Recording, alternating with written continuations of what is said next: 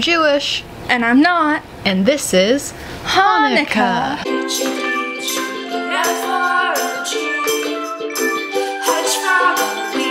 This year, Chloe watched a bunch of Christmas movies and has a very Christmassy video about that that is probably here. Uh, but I said, you know what? This is my year. We're doing a Hanukkah special, babies. I'm gonna track down all the Hanukkah specials and really get into it, give them ratings out of like eight candles, make it real fun. But, um,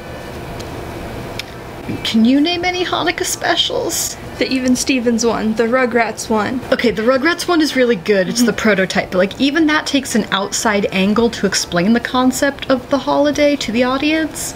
Like it's not meant for Jewish children to watch. It's hmm. how other it's how other children learn about Hanukkah.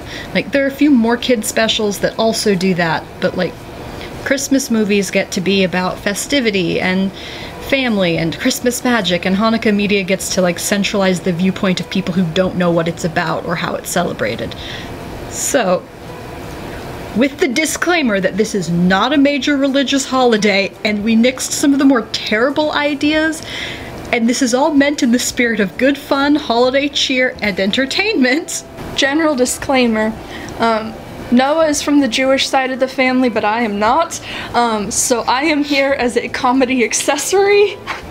Yeah, like the lady with the husband. Yeah, like that lady on TikTok with the husband picture here. Yeah. Um, I am a comedy accessory. we have come up with some Hanukkah specials. To be clear, this is not necessarily the Hanukkah media that I want, but it is the Hanukkah media that these intellectual properties would give us. Before we get into that, I would like to give you your Hanukkah present of the day. Okay. Yesterday, it was this guy, Yeah. and he's a dragon who is a heating pack for my terrible body. Um, I tried to. Um, this was my first attempt It's to lovely. do um, the easy pull thing. I think it came. It didn't come out good, but uh, you can try and see. Also, Yeah. Hanukkah. is that what was supposed to happen? Yeah, I Okay. guess.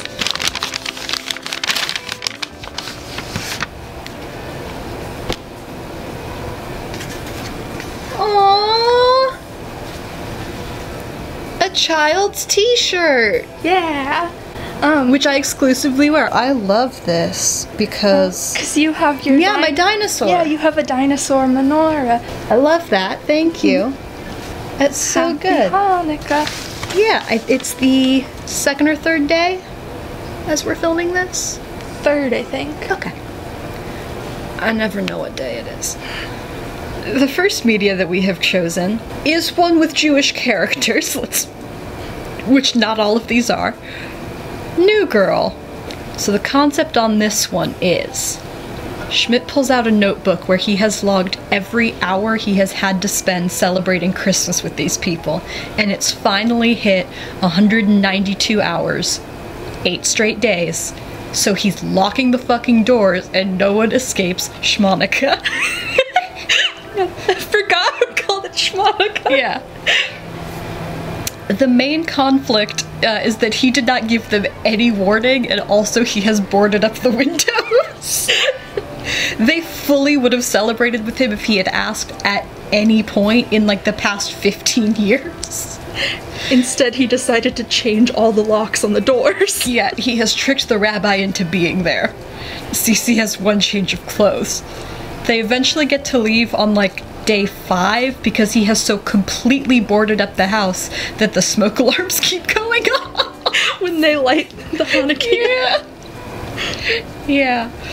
Uh, after they all get to escape, Jess feels bad and tries to make everyone go back and have dinner with him. Other conflicts appear in the forms of Winston is allergic to Chinese food. canonically. Nick makes it two days with no issue and then loses his mind the moment they run out of jelly donuts. Jess is trying to facilitate group Hanukkah crafts. The rabbi is distressed. Winston gets a little too into it. Many portions of Hanukkah are kind of a sing along, but Jess does not know any of the words for the sing along. That is not gonna stop her from participating in the sing along. It is not. Um, it ends with them deciding to incorporate a dreidel into True American. So I think that could be fun. I think that's a pretty solid Hanukkah pitch. Yeah. It's gonna get worse. What's our second one? It's Riverdale. Yeah, Chloe's initial pitch for this one was Jughead goes to light the menorah and the devil comes out of the flames. But we did reject that on the basis of a fair amount of our audience might be normal people who do not watch Riverdale and thus do not know that the devil is a real character in Riverdale who shows up to torture Jughead.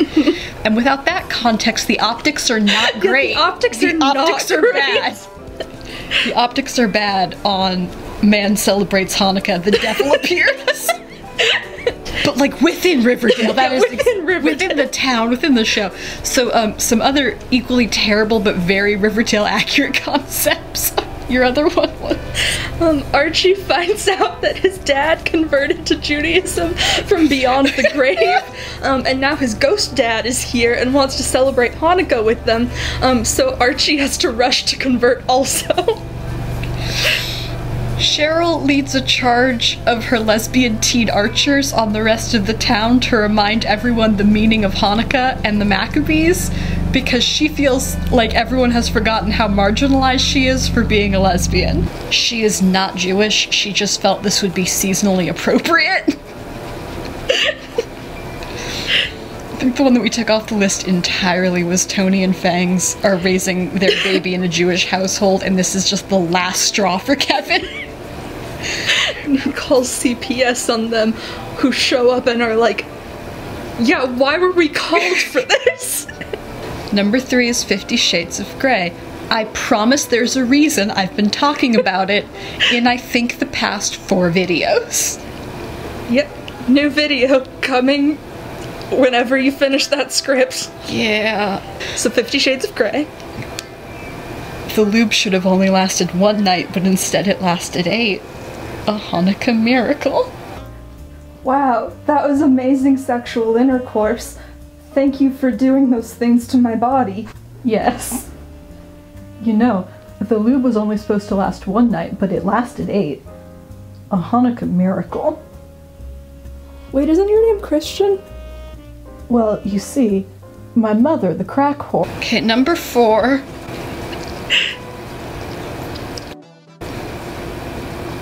Number five is Teen Wolf, and that was your concept. Yeah. Give me a brief overview of Teen Wolf Hanukkah. Um, Derek is sad that his family is dead, and also he has a lot of trauma related to fire. Um, so he feels real weird about um, lighting his Hanukkah.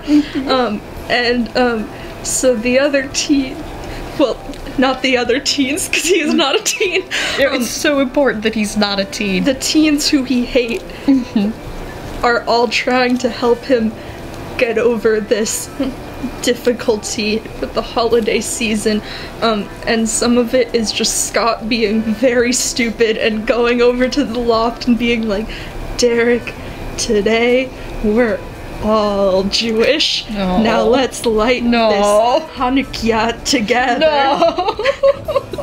um, and then Derek like breaks his arm and makes him go home. They're werewolves. It's fine.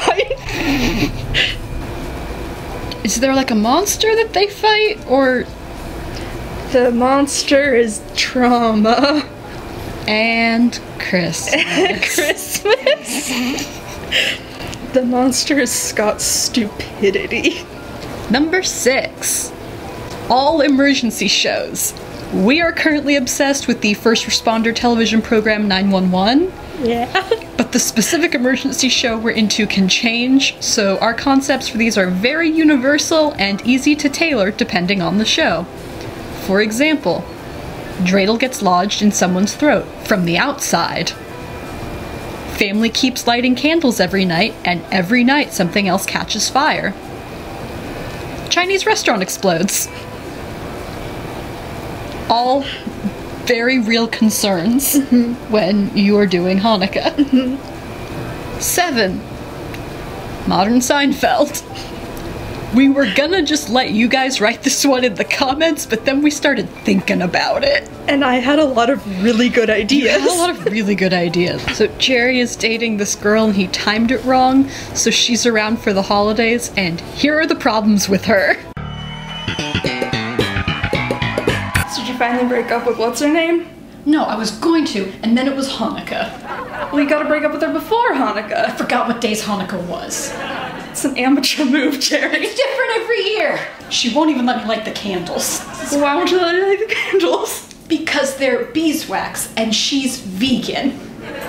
I thought vegans loved beeswax. Wouldn't they? Wouldn't they love beeswax? The bees love it. Yeah, the bees love the beeswax. I don't know. Not that I would want to light the candles in whatever thing she brought over. You. So there's eight candles, right? Yeah, there's eight. How many colors in the rainbow?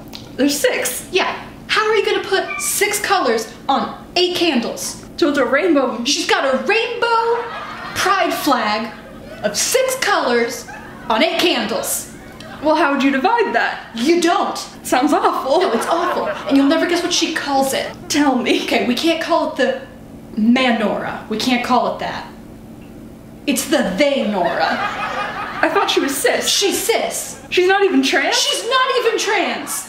She's not even trans. And it's not even called a menorah. It's not even called a menorah. Did she at least get you something nice for Hanukkah? She got me a series of microaggressions. Oh, or the microaggressions? Well, she got me a new Packer hmm. You can always use a new Packer. that's just slightly bigger than my old one. What does that mean? What does that mean? What am I supposed to get from that? Yeah, you gotta break up with this one. God, I waited too long.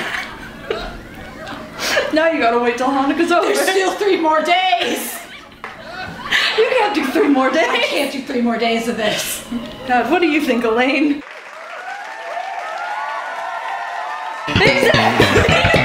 George's thing is he saw a beautiful woman on the street and he followed her a little bit and accidentally followed her into a church.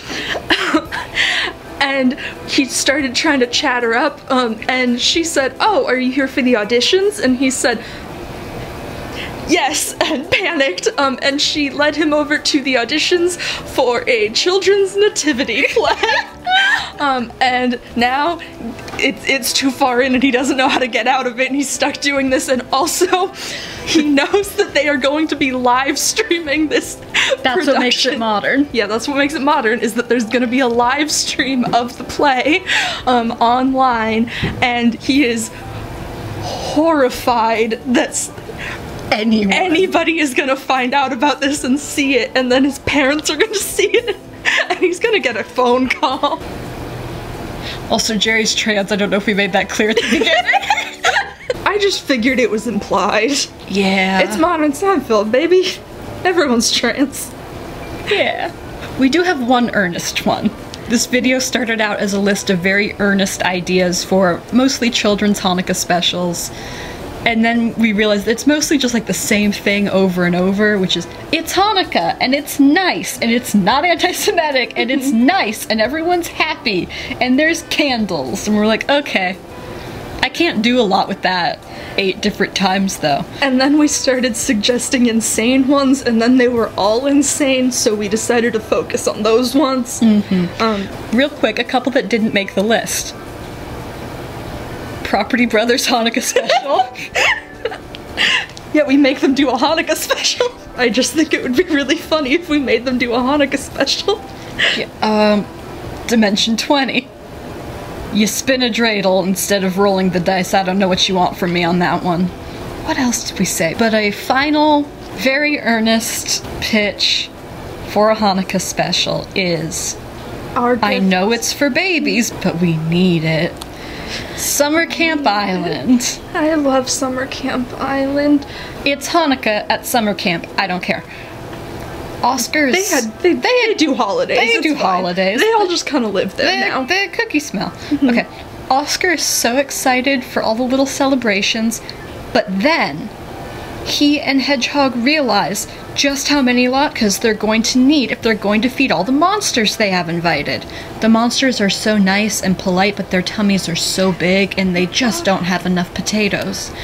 And they decide the solution is for Hedgehog to grow some very big potatoes so they can make many, many latkes. Hedgehog and, is a witch. and the number of times that I typed Hedgefrog frankly made writing this nearly insurmountable. Um, but she makes the potatoes too big and they just keep on growing and they have to go to Ramona to get help because anytime they go near Susie, she just throws apples at them.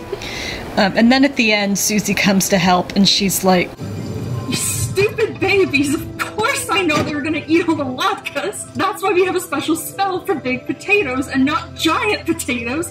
Stupid babies! This is why I'm always the prettiest girl every night of Hanukkah! Because I plan in advance! Why do you think I've been throwing apples at you all day? To soften them for the applesauce for the latkes! Stupid babies! and she makes some good medium big potatoes and they make a lot of latkes and it's nice. Yeah, and it's nice. It's nice and it's Hanukkah. And it's Summer Camp Island. Hanukkah. Hanukkah. Hanukkah bedtime for Hanukkah babies. They like Hanukkah gravy on their latkes. Sweet applesauce is very neat. Hanukkah nights with Hanukkah lights on the menorah so bright. Oh no, I lost one. Okay, all of our information should be in the bi- uh, yeah, link in bio. Um, you can contact us if you want to. For all of our patrons, our holiday card should be coming out soon. If you have put your address in, we know they're late. What do you want from me? um, and anyone who is not a patron, currently you can subscribe to any of the tiers, get like all the rewards for one dollar, and that will include a holiday card if you do that by I don't know, like first week of January. Sure. Yeah, Hanukkah. Hanukkah. Okay, love you. Love you. Hanukkah bedtime, Hanukkah babies. Okay, bye. Bye. Come and sit on our log. We'll have fun with Hedgehog. No clone, frog, and hedge. You can be our new friend. Itchy, itchy, F-R-O-G. Hedgehog on a week. This could be our iCarly's video. When I was on the train the other day, I fell asleep, and when I woke up, I, I swear to God that I thought the guy facing the other way next to me was Quinton Reviews.